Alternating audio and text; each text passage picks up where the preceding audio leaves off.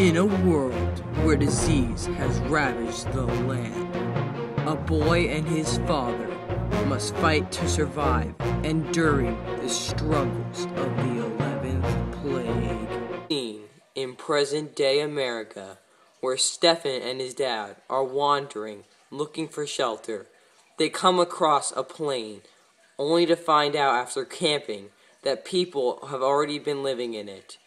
Now they must struggle to survive as the natives of the plane chase and cap- and try to capture them. Dad, is that a broken plane up ahead? Yeah, it is, Stefan.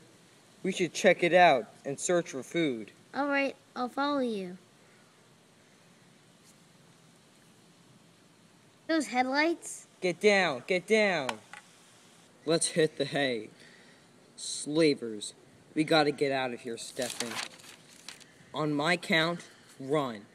Three, two, one, now! Those people that must have been on our plane. Shoot them. Stefan. Wait, Dad, slow down. Stefan? Ah! Hey? I'm coming down to get you.